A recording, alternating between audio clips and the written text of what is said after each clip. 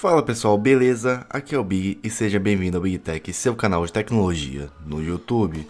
Hoje vamos ao comparativo que muita gente pediu aí, que é o Lenovo Z5 versus o Xiaomi Mi A2 Lite. Então, bora pro vídeo. Bem, do lado esquerdo nós temos o Lenovo Z5 e do lado direito nós temos o Xiaomi Mi A2 Lite. Ambos rodam Android na versão 8.1. Na questão de tela, nós temos 6.2 polegadas no Lenovo Z5 de resolução 2246 por 1080, tecnologia IPS proteção Gorilla Glass 3. Já no caso do Mi A2 Lite, nós temos uma tela de 5.84 de resolução 2280 por 1080, tecnologia IPS proteção Gorilla Glass 3 e o PPI 432. Na questão de processadores, nós temos no Z5 o Snapdragon 636, 8 núcleos, 4 de 1.8, 4 de 1.6, GPU Adreno 509. No Mi A2 Lite, Snapdragon 625, 8 núcleos, 8 de 2.0, a GPU é a Adreno 506. Bem, na questão de câmeras, nós não temos muitas informações sobre as fabricantes do Lenovo Z5, as fabricantes que ele usa na câmera. Mas bem, temos as informações de megapixel. A traseira possui 16 e um auxiliar de 8 e a frontal 8 megapixels.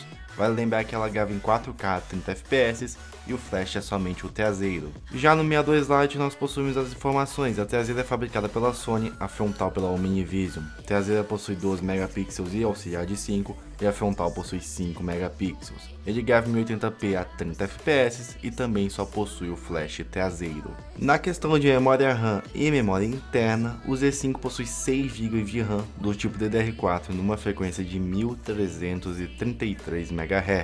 E aí tem duas versões, 64 GB ou 128 GB de memória interna e ele não possui slot para cartão SD, então se você é uma pessoa que precisa de cartão SD, o Lenovo Z5 não te atende. Já o Xiaomi Mi A2 Lite possui 3 ou 4 GB de RAM do tipo DDR3 numa frequência de 933 MHz, memória interna 32 ou 64 GB, expansível até 256. Bem, na parte de conectividade nós temos o slot Dual Chip para o Lenovo Z5, como ele não tem entrada para cartão SD, ele não tem baia híbrida.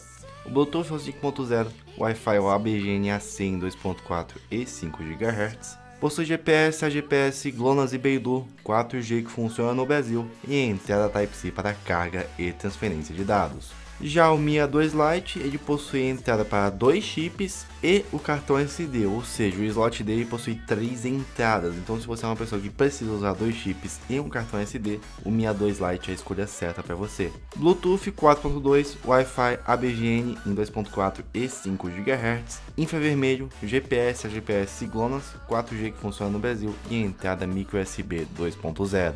Bem, na parte de sensores nós temos um quadro igual para os dois lados, eles possuem sensor sensor de proximidade, sensor de luz, acelerômetro, bússola, giroscópio e o biométrico. Falando de bateria, agora nós temos uma capacidade de 3300 no Lenovo Z5, fabricado pela Lenovo, com uma entrada de energia de 5 volts 3 amperes 9 volts 2 amperes, 12 volts 1.5 ampere. Possui quick charger e a bateria não é removível. Já no Mi A2 temos uma capacidade maior, 4.000 mAh, fabricada pela Xiaomi, com entrada de energia de 5 volts 2 amperes, possui quick charger e a bateria não é removível.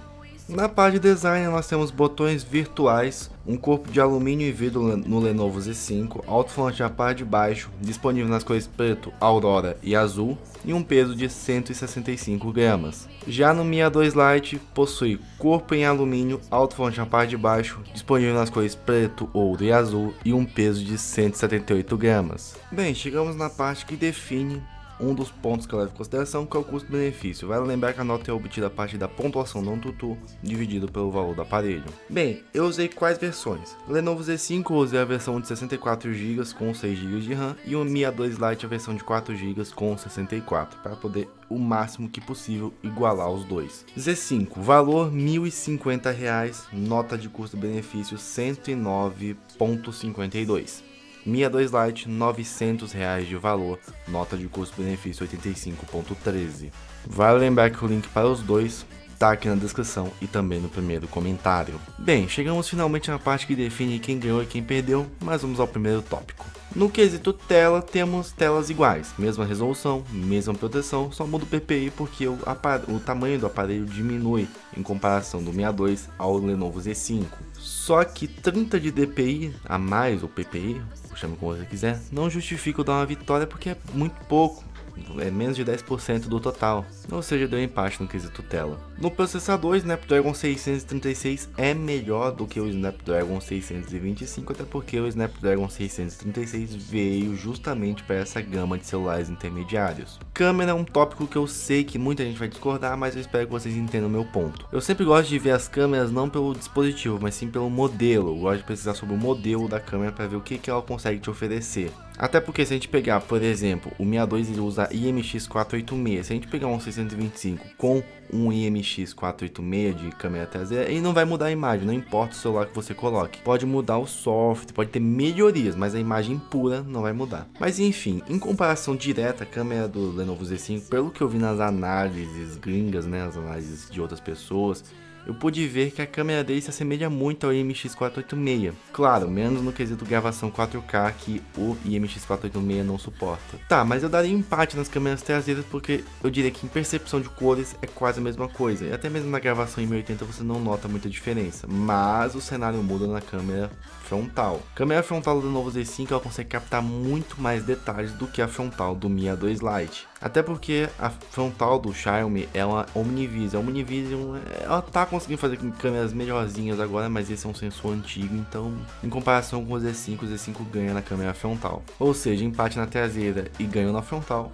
ganho na câmera para o Z5. Memória RAM e memória interna, bem, 64 GB com 6 de RAM para o Z5, 4 GB e 64 para o Mi A2 Lite, vitória para o Z5 porque ele tem mais RAM. Conectividade, eu sei, o Lenovo Z5 ele possui a versão AC do, do Wi-Fi, para quem não sabe, AC é alta velocidade, é 1.2 GB por segundo, ele possui o Bluetooth 5.0, só que o Xiaomi Mi A2 Lite ele possui o infravermelho, isso cara é um adianto de vida que você não tem noção quando você usa coisas que tem infravermelho muito durante o dia, como projetores, televisões, você configura uma vez e pronto, até mesmo no próprio sistema da Xiaomi tem um aplicativo para isso. Você consegue ali salvar os seus dispositivos, digamos que você seja professor, você dá aula em 5 salas, 6 salas. Você consegue salvar ali cada projetor de cada sala e pronto, você só nomeia, você entra na sala, apertou ali, você controla o projetor pelo seu celular. Isso é incrível, então conectividade ganha por causa do infravermelho. Na questão de bateria, o Snapdragon 636 é mais econômico do que o 625 em alguns aspectos, mas